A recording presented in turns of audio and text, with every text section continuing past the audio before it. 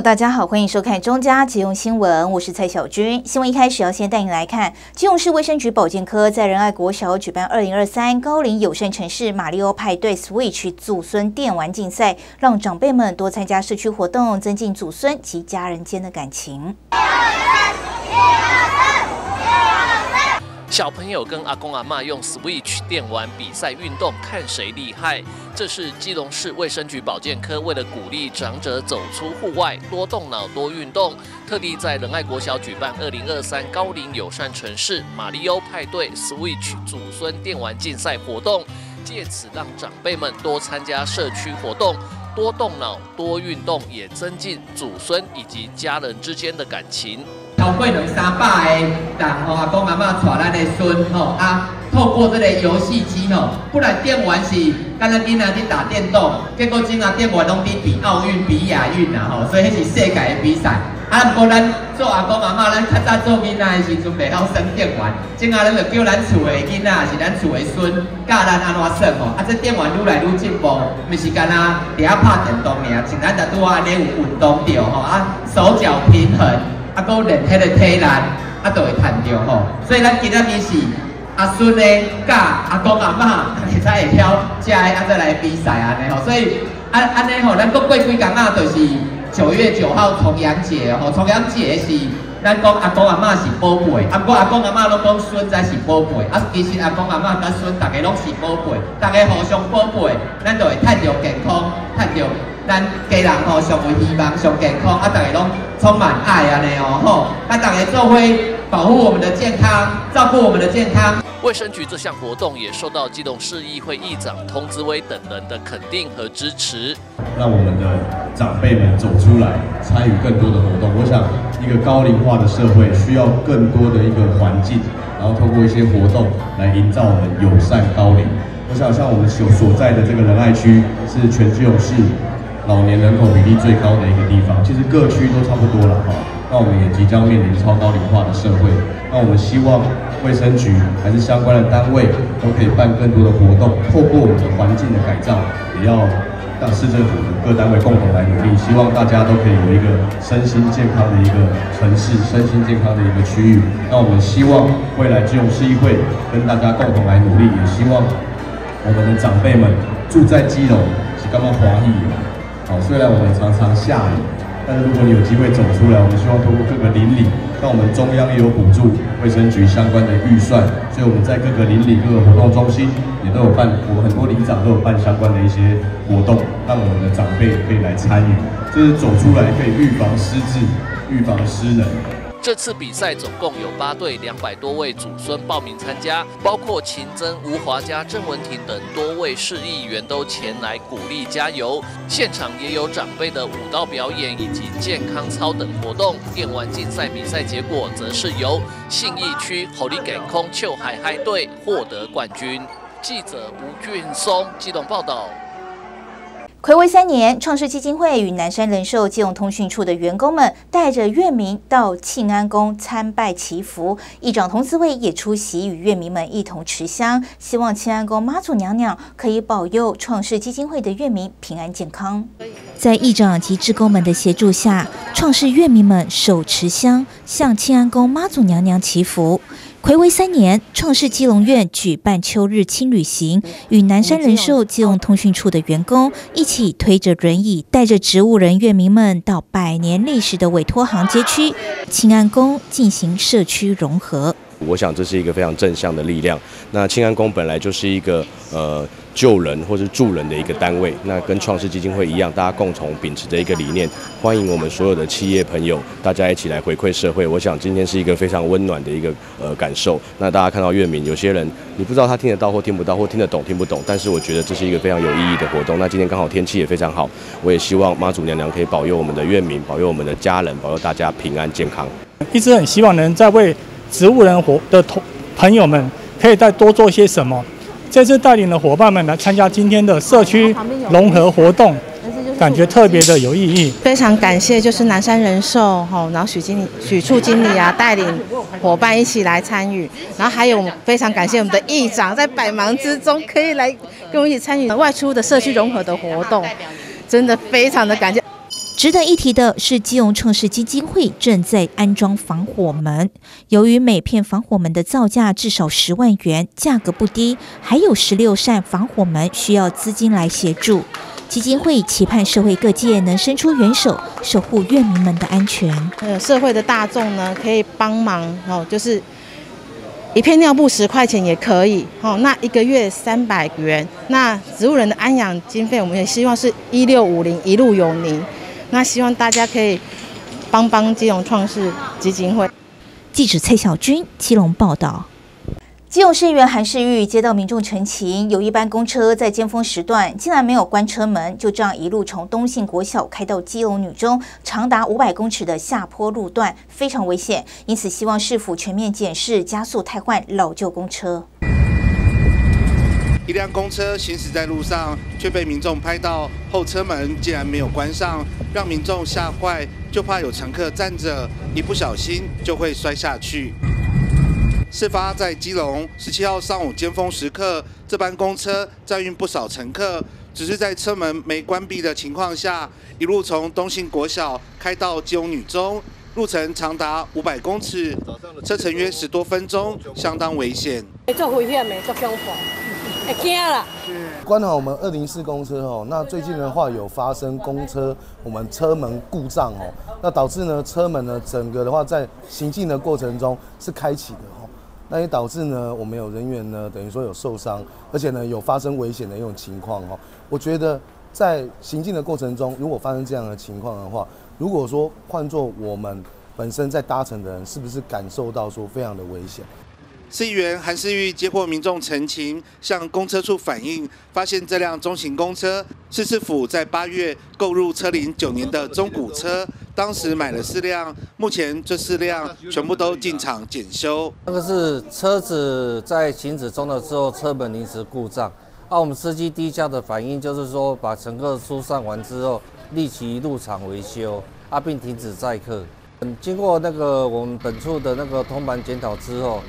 我们就这这款的车子，因为这是这今年交的新中古巴士，所以我们对这批车子大蓝交的车再重新做检查。从之前到现在，哈，前几年一直接二连三有发生这样的事故，那是不是说呢？我们公车的话就做通盘的检讨跟做一个改善，哦，还有呢，就是我们人员的教育训练上面呢，也要做一个加强，哦，而且呢，四月的话在议会呢已经有提过非常多次了。那希望说呢，我们的施工车呢能够得到全面的汰换。我也希望呢，我们的市府呢能够加紧脚步。就是公车上周才发生车门故障，导致妇人跌倒受伤。这一回，市议员韩世玉又接获民众陈情，车门关不上。市议员呼吁市府要全面检修，加速汰换老旧公车。记者黄少明金融报道。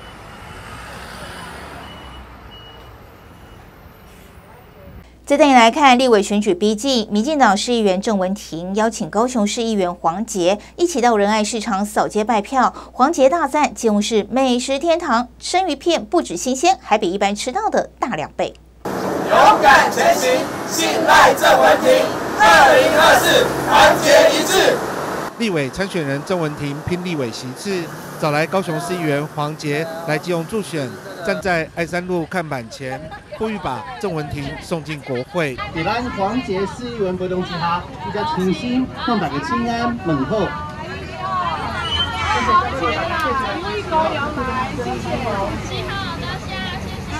来到仁爱市场，陪同郑文婷扫街拜票。黄杰受到民众热情欢迎，又是握手，还与支持者合影留念，还有摊贩送上包子，象征包重。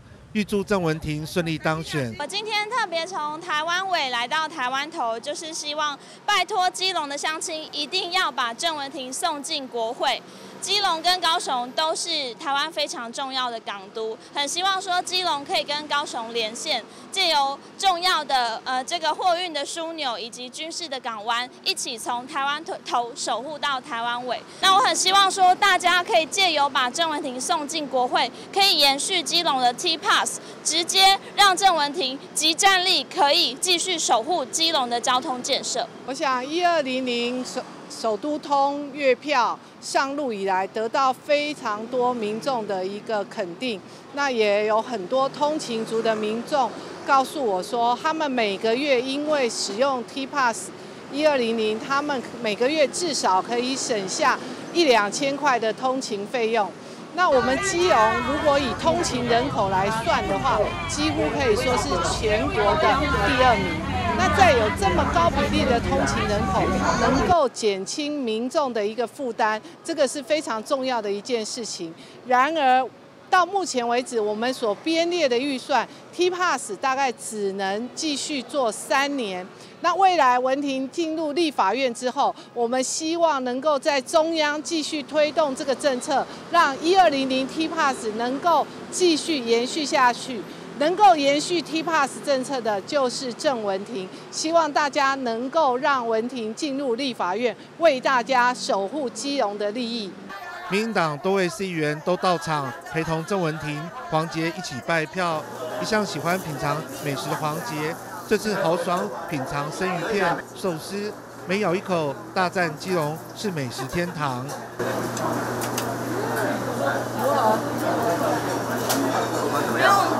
好想吃那么大一片多好，真的，健康他们都切一半，对不对？它的厚度是两倍，两倍。你看这边排队的都是等着要要来吃，真的。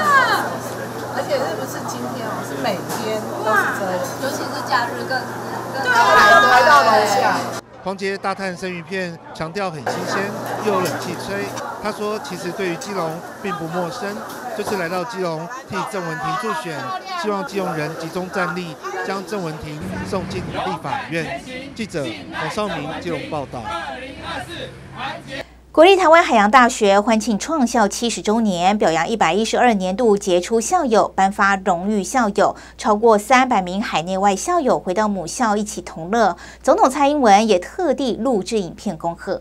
国立台湾海洋大学迈入七十周年，从开始的筚路蓝缕、填海造陆，为大学使命开创新局。七十周年校庆庆祝大会席开八十五桌，透过线上直播，让全校师生及全球各地的校友齐聚，一同庆贺海洋大学的生日。海大成立于一九五三年，到今天刚好七十周年。那我们海大在三百平的校地。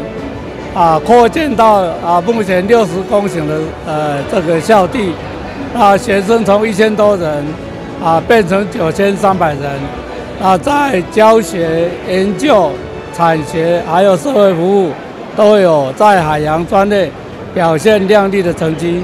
行政院副院长郑文灿也亲自到场祝贺海大生日快乐，也期盼借重海大的力量，让台湾在发展离岸风电、渔业、海洋及生态永续发展等方面取得共生与平衡。所谓的“三十三十”海洋保育的思维渐渐成为主流，要成为在教学、研究、服务哦各个方面的这个顶尖大学，海大已经做好了准备。也展现了成果。校友总会会长林建松国策顾问、杰出校友联谊会理事长王光霞与各地的校友会都来到现场祝贺母校生日快乐。海洋大学七十年来，不管是在啊配合政府在推动这个海洋海洋产业跟海洋科学方面，都有非常杰出的成就。海洋大学呢，培养了很多的优秀的人才。当然，我们更需要能够来。为我们的学弟学妹们，怎么样的更快的时间里面来成功？呃，这是我们很期待的。七十年来，海大培育了无数优秀的人才，推动了海洋产业和海洋科学的发展，为国家做出卓越贡献。未来将从多面向加强国际化指标，让全球看见海大。记者蔡小军金融报道。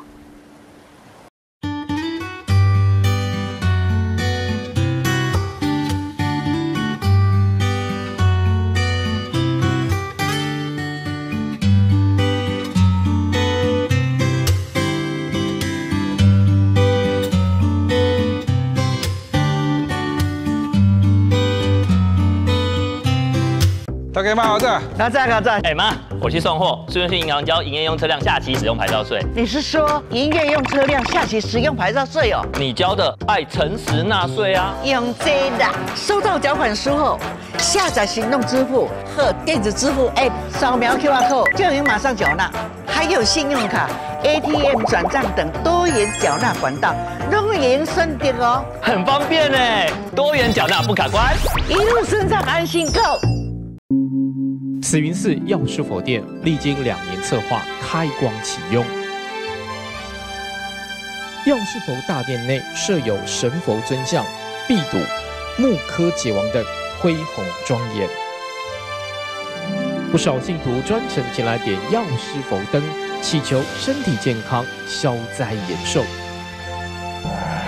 欢迎民众来慈云寺药师佛殿参拜，感受法喜。基隆市区污水下水道施工开始喽！下水道工程施工会在道路进行开挖时设交管及围设围篱，工期陆续将爱乐分区分段施工，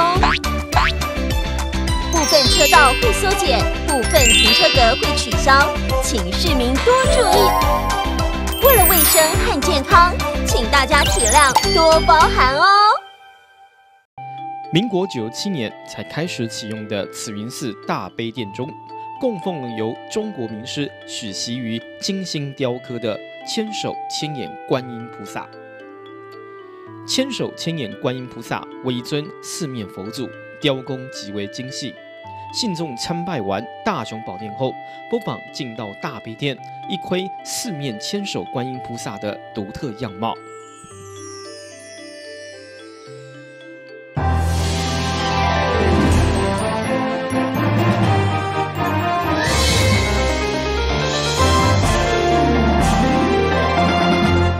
欢迎回到中嘉新闻现场。您知道巴堵火车站对面有座富建山吗？巴南社区展现极佳的社区营造力，赋予脏乱环境新生命，还找出富建山的碉堡军事要地故事。在今年度的社造计划中，推出了神雕帕麻富建区的小旅行。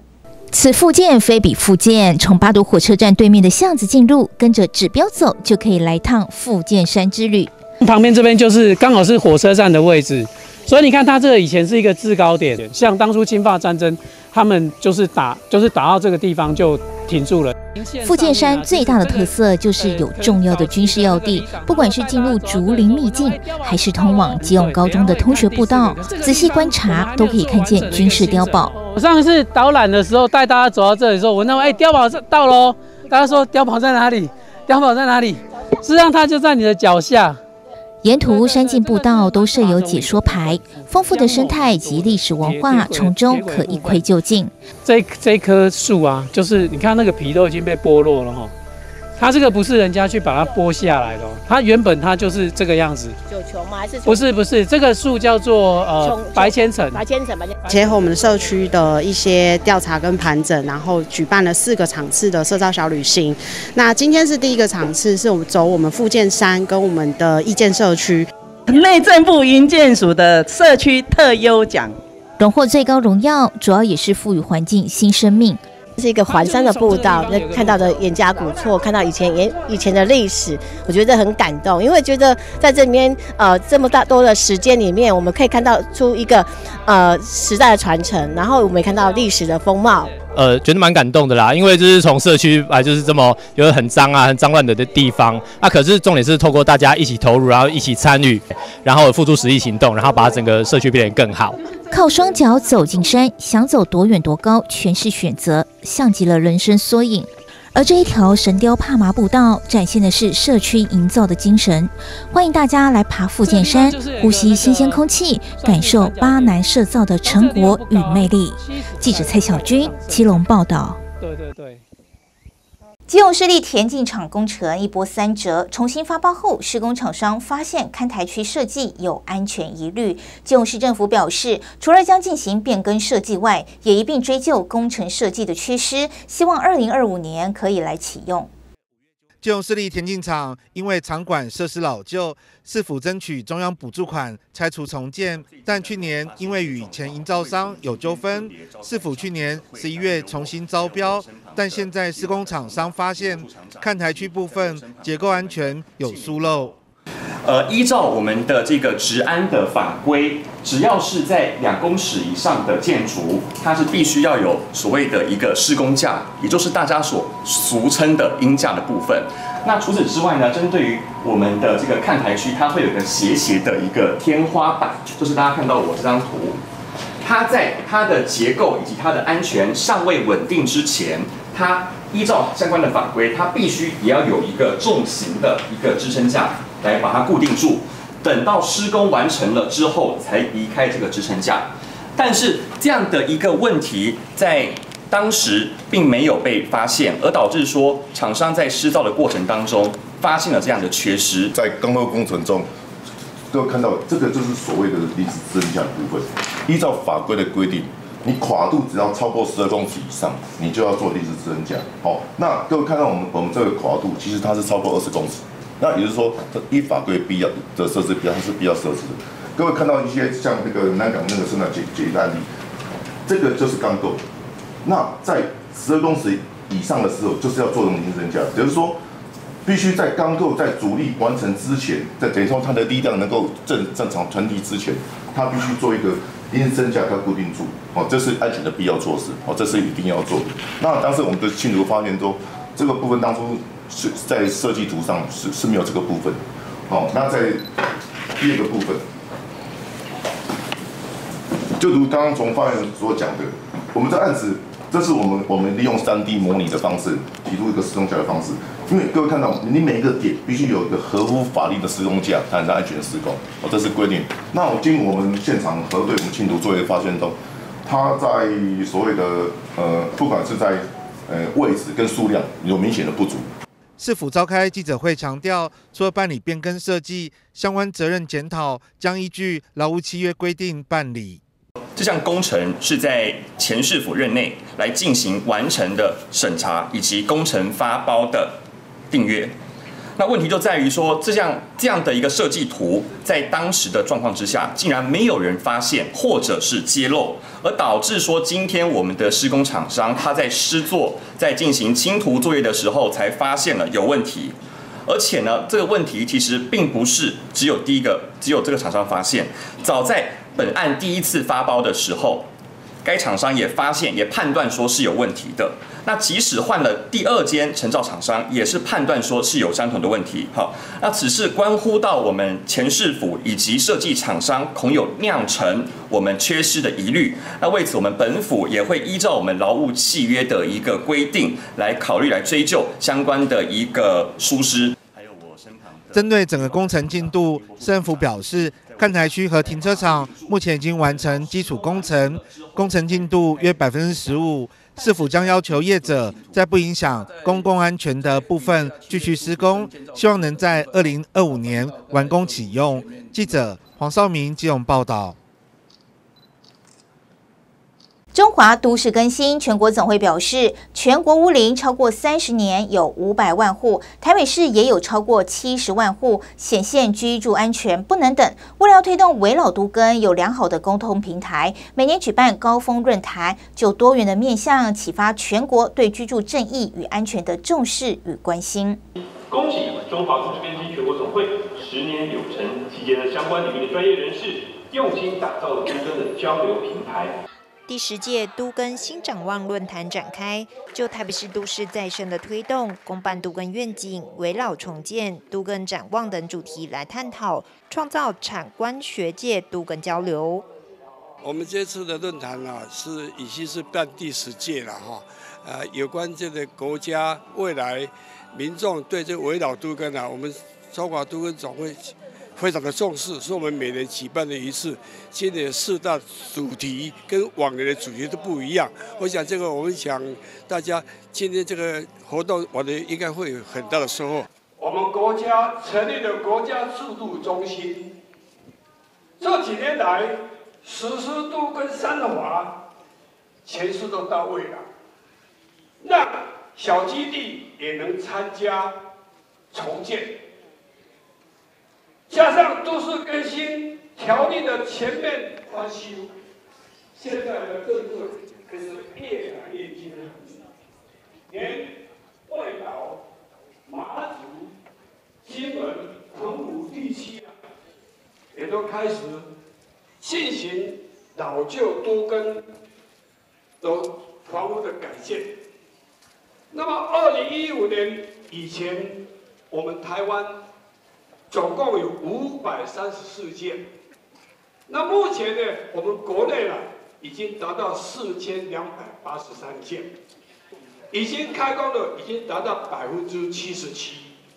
所以我们呢，称为围绕多根的教父，内政部发处长，他在执行政府多根围绕政策上，有他努力深入了解问题、修法克服的坚持啊，才有今天的成绩。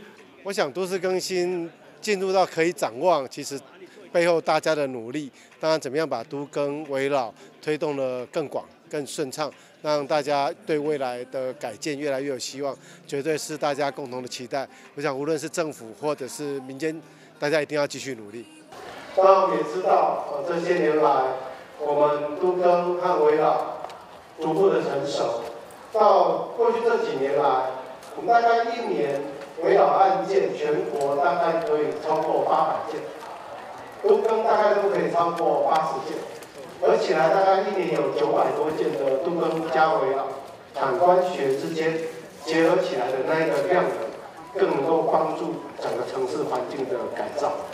所以说，无论如何，今天这个题目都跟新展望，其实对政府是莫大的挑战，但是这个挑战却是民众最期待的事情。最后，大家好。论坛阐述及讨论中央及地方都更新政策，让社会各界认识了解多元都更展望，也协助政府未来制定相关法规与制度时，能兼具多元声音，提升围绕都更的效益和效率，促进都市永续发展。记者问俊台北报道。以上就是今天的中嘉新闻，也欢迎您到中嘉新闻的脸书及 YouTube 按赞，就能及时获得最新的在地新闻。非常感谢您的收看，我是蔡小军，祝您一切平安，我们再会。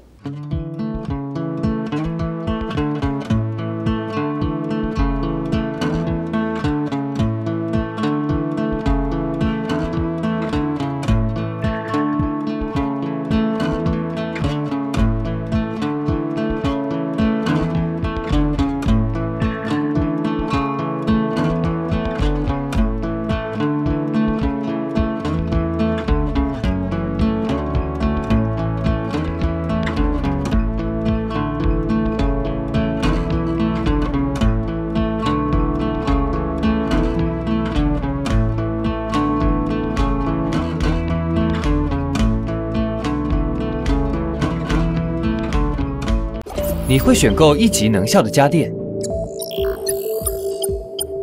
但你的节电等级却只有五级。现在开始改变你的用电习惯，冰箱只需八分满，滤网定期两周清，冷气设定二六至二八度，玩转时间进化一级节电玩家。关掉冷气，随手关灯，白天到黑夜节电不停歇，节电从我改变。星期一多多运动走楼梯，星期二随手关灯要贯彻，星期三衣物日晒自然干，星期四定期保养勤擦拭，星期五冰箱秒数认真数，星期六节电插座要使用，星期日节电天天是好日。